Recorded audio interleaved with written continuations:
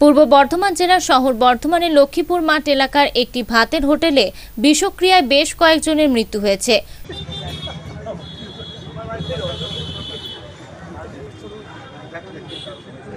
সোমবার ওই হোটেলে খাদ্য দপ্তরের আধিকারিক ও বর্ধমান সদর থানার উদ্যোগে যৌথ অভিযান হয়।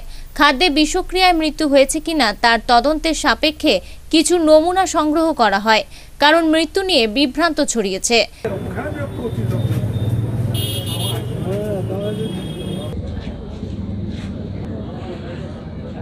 এটা কত ছবি তুলবে বলতো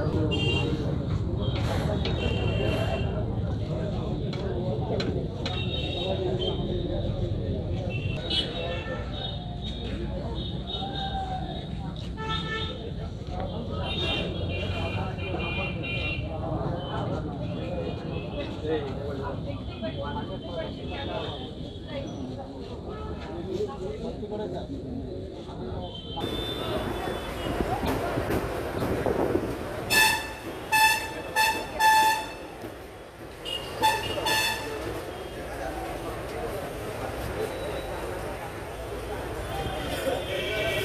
নিহতদের পরিবারের পক্ষ থেকে অভিযোগ করা হয়েছে মদে বিষক্রিয়ায় মৃত্যু হয়েছে। এদিন তদন্তে আসা প্রতিনিধি দলটিকে সাংবাদিকরা প্রশ্ন করলে তারা কিছু বলতে চাননি। তারা জানান তদন্ত চলছে। আর কাদের কাদের কারা এসেছিলেন আজকে আজকে নমুনা কারা সংগ্রহ করলেন?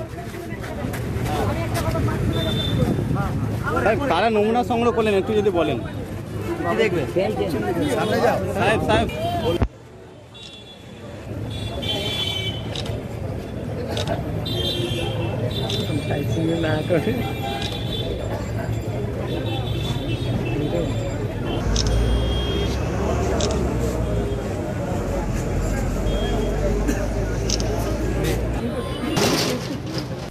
বর্ধমান থেকে পিন্টু প্যাটেল ও টিঙ্কু সাউয়ের রিপোর্ট আনন্দ বার্তা